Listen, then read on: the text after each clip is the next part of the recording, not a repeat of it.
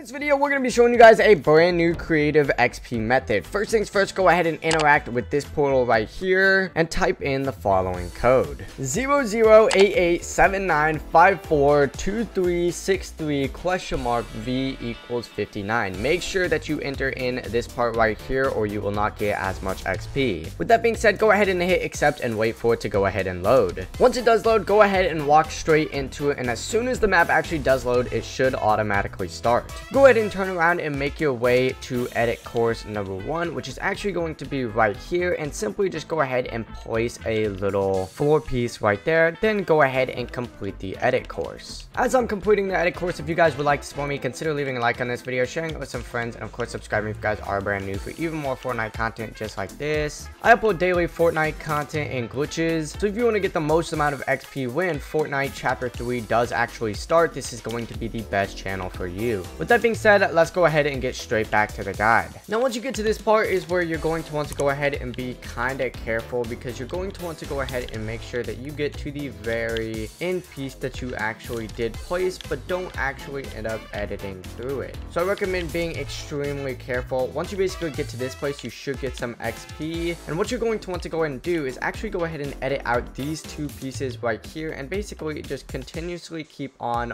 walking around into this section right here and you'll get an unlimited amount of XP. Now, if you're on control, you could put a rubber band on your controller like I'm doing right now to basically always be moving, or if you are on PC, you could put like a third-party program to make sure that you're always jumping, such as Auto Clicker. However, I obviously don't condone the use of using third-party software. With that being said, that's to wrap it up for the video. Hope you guys did enjoy and have fun using this brand new XP method.